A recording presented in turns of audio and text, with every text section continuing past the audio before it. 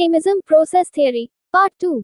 Ameism process theory simply says that everything in universe and everything around you presently appear like this because of certain processes happened across time. That means because processes are changing with time, everything is in dynamic states. The quality of the processes associated with the environment determines the quality of the matter. It also says that total quantity matter of the universe is fixed or constant.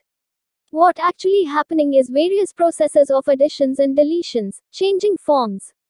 Hence changing the forms as a universal reality of everything, otherwise it will cease to exist. When anything in the universe have a stunted growth pattern, then universe will split and destroy it. Process theory also says about progressive rewards to populations for better political growth.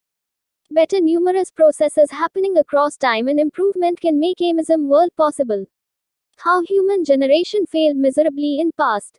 Human generation failed to create advanced predefined processes for human cooperation and development.